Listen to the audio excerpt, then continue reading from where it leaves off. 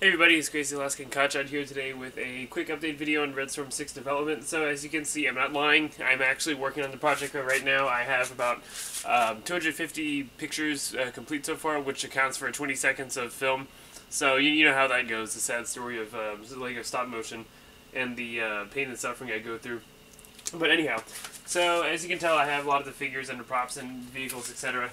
Uh, behind here is covered, of course, because I'm actually filming right now.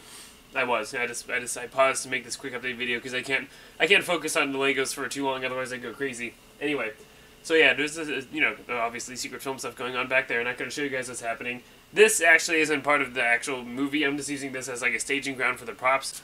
And of course, as you can tell, I'm not done with all the figures. I mean, well, okay, I'm done with the majority of the figures, but I still need to make I need to make extras. You know what I mean? I have like the ba the base templates done, so I, I know what I'm actually doing as for color schemes and stuff. So as you can tell, these are all my blank minifigures that I still have to work on. Uh, there's a couple extra lying around. I am pretty, I'm probably painting like an average of one or two per day. And honestly, I'm probably only going to need like five or ten because this the, the, film is going to be different than the last ones and that there's not going to be as many minifigure. Okay, it's not going to be. I'm trying to think how to say it. It's going to be more Call of Duty like and not Battlefield like, if that makes any sense. There's going to be less people, less less players, so to speak. It's going to be more. Um, it's going to be closer focused towards in a, certain individual or not I'm not saying that you know a certain hero but you know one soldier or one character you know it's not going to be like a massive battle well it's not going to be a massive battle in that there's going to be like hundreds of minifigures unfortunately you know just because of budget reasons but however uh, we get, I'm going to make that appearance I'm going to make it look that way just with my resources anyhow. So yeah so we have I have the first opening scene done completely done like edited edited and all um, so I am experimenting with blue screening. So you're gonna have a very interesting surprise, I think, when it comes out later.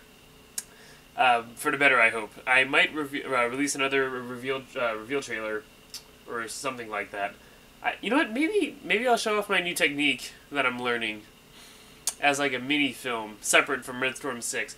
But I'll consider that. And yeah, so I think you guys are going to be really surprised. When this project is done, I'm thinking it's going to be about 5,000 5, to 6,000 pictures. I'm thinking. So it's probably going to be... Well, my target figure originally was about 5 minutes, but... I'm, I'm pretty sure I'll be able to hit that. We'll see. Anyhow, so that's pretty much just a quick update video. Just wanted to show you guys and show you show all of my props and stuff that I have lying around. It's, it's a it's a garbage heap right now. I know. But anyway, that's pretty much all for today. If you guys enjoyed this video, make sure you leave a like and subscribe for more great content. Stay frosty.